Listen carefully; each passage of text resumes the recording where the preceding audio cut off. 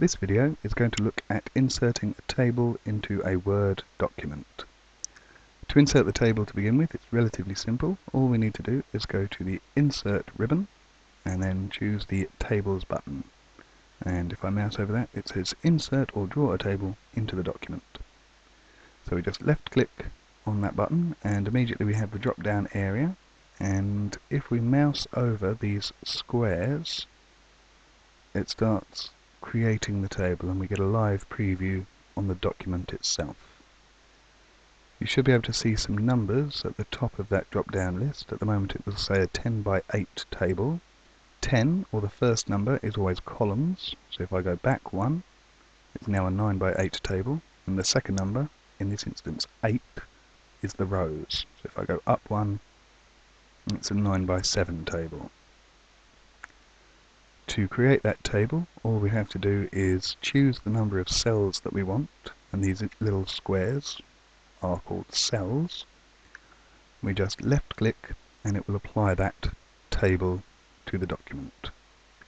If you want a slightly larger table, or if you want to make some changes to it, we can click on Insert Table, and that brings up the Insert Table dialog box, and here we can change the number of columns with the up and down arrows by typing in a new number.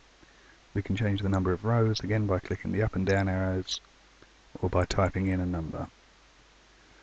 The reason you might go for the Insert Table dialog box is for the auto fit behavior, but for beginners it's best to leave that to fixed column width auto.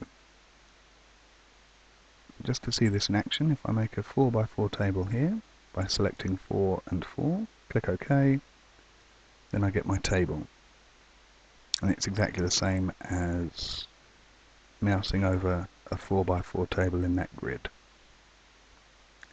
As soon as the table is created, we have the cursor or insertion point flashing in the top left cell, and that gives us two new tabs and two new ribbons underneath Table Tools. We have the Design and Layout tabs, and we'll be looking at those in a moment.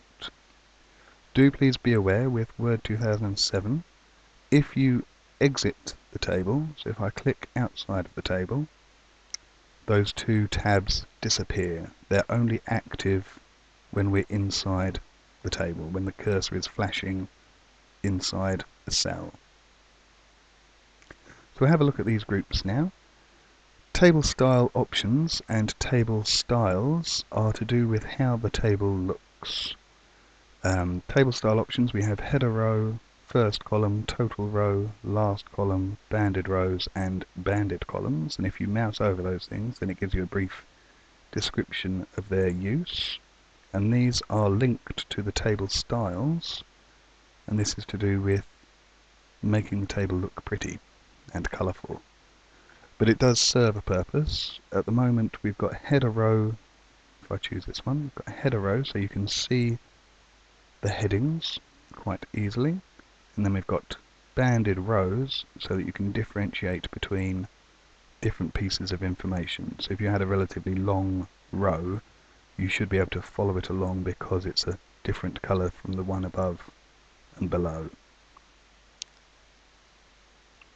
To turn that off, if we just go to Table Grid, two more useful buttons in here are the Shading and Borders button. Shading is to do with shading your cells. With a table we don't need to have the cell selected, we only have to have the cursor flashing inside that cell. And then this is a dual function button. If I click on the paint bucket, then whatever colour is on the line beneath will be inserted. If I choose another cell, if you click on the drop down arrow it allows you to choose whichever colour you desire. We've got some nice pastels running along the top and then variants on those colours in these lists. And then we have standard colours as well. So they're blocks of colour. And again be aware as you mouse over a different colour as long as the cell that you have highlighted or selected is in view you get a live preview of that colour. If none of these colours take your fancy we have more colours and that opens a color swatch where you can choose whichever color you want and then you can increase or decrease the darkness with these ones. You can also go to custom colors where you can choose if you know a specific number of red, green and blue that you want making up the color, you can choose it there. In previous versions of Word, if you shaded a cell in a very dark color, if I go black, and then typed inside that and tried to print it out in a black and white printer, you might not have been able to read the text. But if I start typing here, you can see that the text is coming out in white. So the text should always be visible no matter what colour you've chosen. It is always a good idea though to go with a relatively light or um, yes, light colour just to make sure that the text is always visible. So if I undo those changes, we'll have a look at the second button and again borders is a dual function button. We have the main button and then a drop down button. Borders are these lines breaking up the table. So it's the outside, inside and row and column lines that you can see. We can turn off borders, we can apply borders, it can be quite interesting but it can also be a little bit um, tricky. By default we'll have in an individual cell the bottom, top, left and right border and then outside borders. So we'll have the borders visible for an individual cell if I select the whole table, and one way to do that is to mouse towards the, if it works, mouse towards the top left hand side, as soon as you see that four-way directional arrow, if you just left click, it selects everything. And then if we look at the borders again, we'll see we've also got all borders, inside borders, inside horizontal and inside vertical borders. They're telling us which borders we can see. If I click no border, then you can immediately not see any borders, but we have got these little dashed lines indicating where the individual cells are. And on the layout, we can change this by clicking on View Grid Lines, which can get very tricky. So with View Grid Lines on, you can see the individual cells. And you have to remember that even if we can't see the border, they are still individual cells. A good way to be able to see this is to go to the Home tab and click on the Show Hide button and then you can see these little stars indicate each cell. If you find that borders have disappeared, to turn borders on we can have the cursor flashing inside an individual cell, click on the drop down arrow and then if I say all borders, right, see I get all of the borders around that cell. I could click in a second cell and say top, or bottom rather, top, and then left and right. So you can be very selective about which borders you see. If I just go to layout and turn off view grid lines, looks quite interesting. Again, if I just select the whole thing, design and all borders, do be aware, as I say, it's a dual function button, so the drop down gives us individual options, and the button is the um, last option that you've selected. So you see it turns into all borders once I turn all borders on. So that's the table styles group. The draw borders allows us with the draw table button to draw our own table but again, that's not something that we're going to be looking at in any great detail. It also allows you to change the type of border and the thickness of the border. And we can also change the border color or the pen color.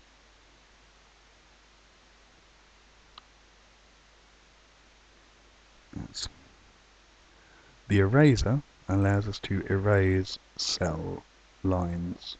So if I mouse over this one here and just left click, it deletes that border. If I want to delete multiple borders, I can press and hold the left mouse button and just drag the mouse over the top and you can see that they're changing colour. And if I release the left mouse button, then it's deleted all of those borders. Do be aware it has not only deleted the borders, if I go to layout and turn view grid lines on again, it has deleted the individual cells as well. So it's now just one huge cell, and that's one way in which we can merge cells together. So if I go to the eraser, I can merge these three cells by just erasing the dividing lines. So that's the design ribbon for tables. If we have a look now at the layout ribbon, we've already seen the view grid lines button. That allows us to turn off and on that line of um, grid lines. With select, we can select an individual cell. So wherever the cursor is flashing, it will select that cell. I'll go for this one as well.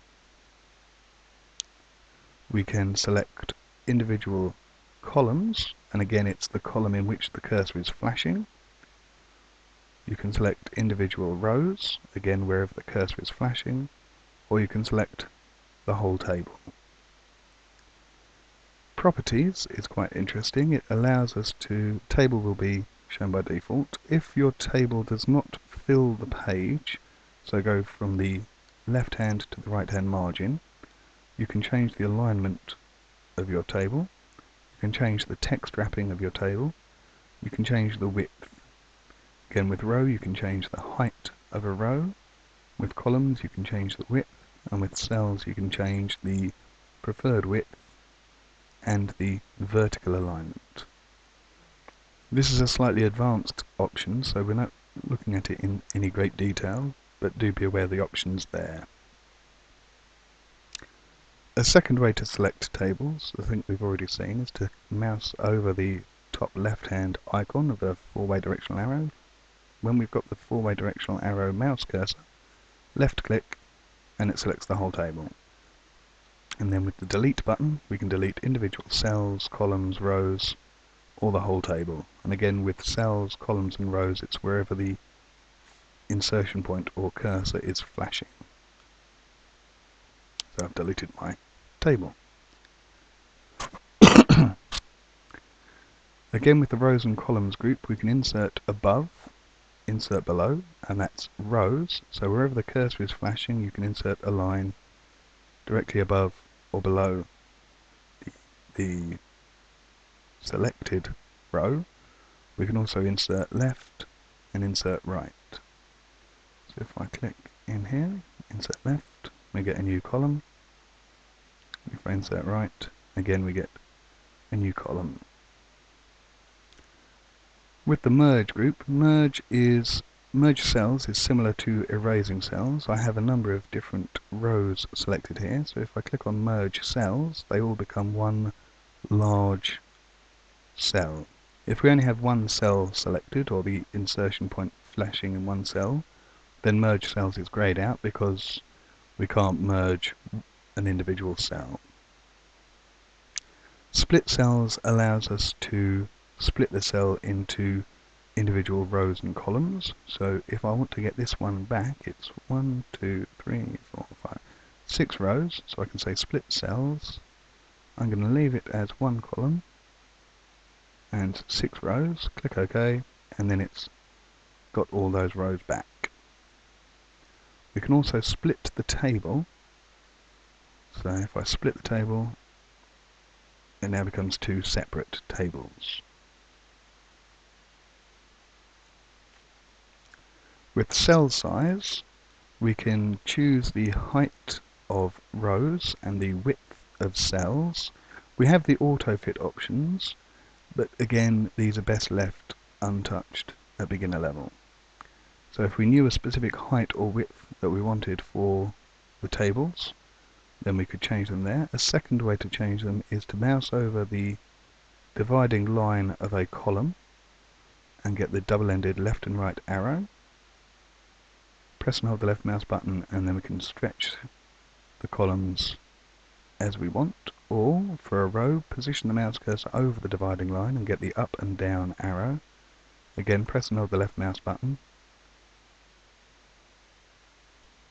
and then re release when it's wide or short enough. That's cell distribution, really. With um, the distribute rows or columns, this is distributing them ease evenly.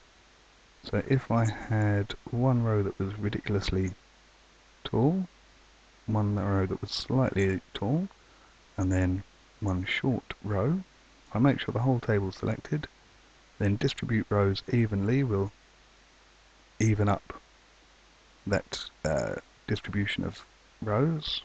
And again, if we have a look at some columns that are unevenly distributed, and distribute columns distributes them evenly. That's cell size.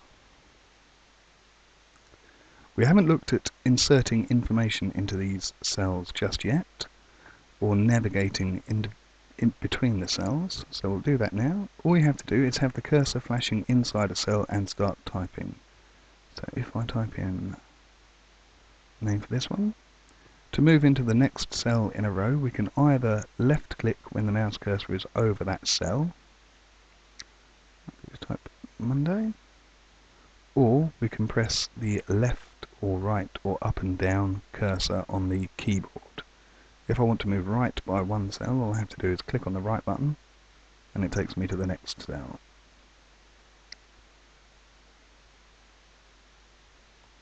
I can also press the tab button.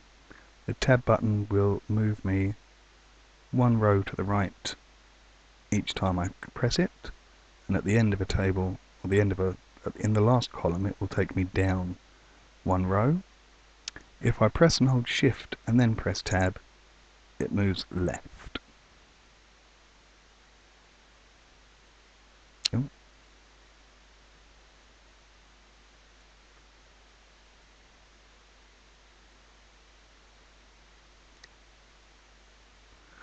That's completing our top column. If I type in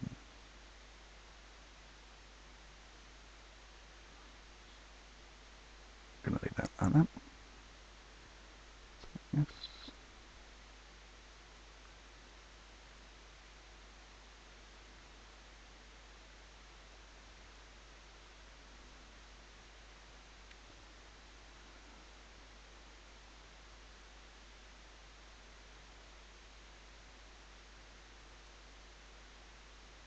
So inserting text into a cell is relatively simple. All we have to do is make sure that cell is selected and then start typing.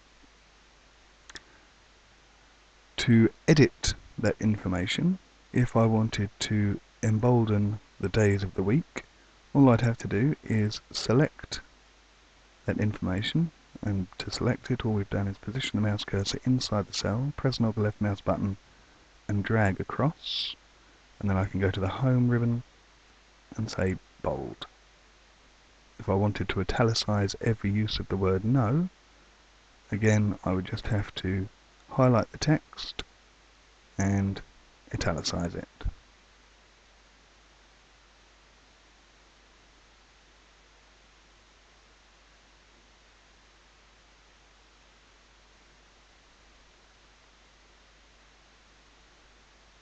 So we can format text in exactly the same way as a normal Word document. All you have to do is make sure the text is highlighted and then apply that formatting change that you want.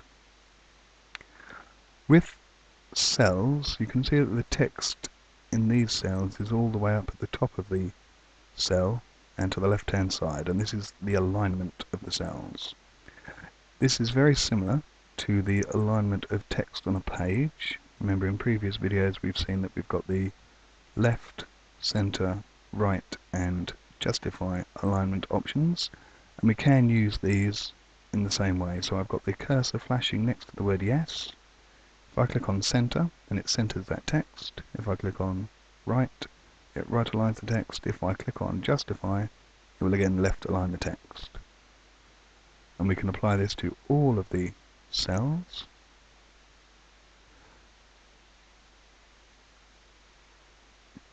But with these cells you can see that they're quite wide and you might want the cells or you might want the information at different vertical areas in the cell. And we saw that earlier with the properties button. We also have the alignment group in the layout ribbon.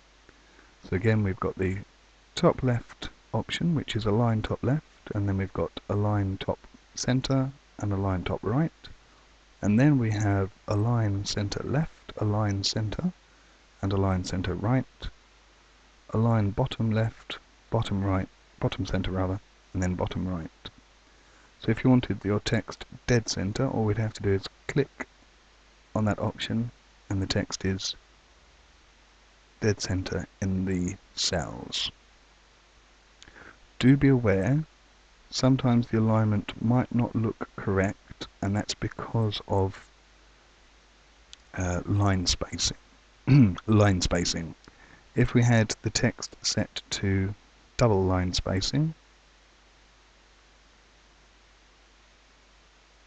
you see it's jumped up a little bit so it's not quite dead center and that's because the text is double line spaced. You see how wide my selection areas are now. If I set that back to single line spacing and the text does go into the middle of the cell now. Something again that we don't really need to know in beginners, but is interesting, is text direction. We can change the text direction within the selected cells by merely clicking on that button, and then we can change the way in which, or the direction in which the cells um, are displayed. We can also apply cell margins. So if you wanted to make sure that you had a margin around the cell, so an area where you couldn't print or couldn't have text inserted, then we'd have a little margin. So we've now got a square that you can't see around the text where we can't actually do anything. And that's the cell margins. And again, it's not something that we need to worry about in beginners. The last group that we have here is data. We're not really going to look at this at all. But um, if you wanted to, it's something that you could play around with just to investigate. Things like sort should be relatively obvious. It will sort in a alphabetical area and it allows you to sort in different bits of information. So if you wanted to sort by column 2, sort the text using paragraphs in ascending order and then it's changed the information. And see if I undo that. You can see that the information has switched because I've sorted it by the word yes. So N comes before Y in the alphabet. So that's why it's changed. And that's why we're not looking at the data group at this level. So that is inserting and editing tables within Word. And again, do remember, as soon as you mouse out of a table, those tabs disappear. They're only active when we're inside a table.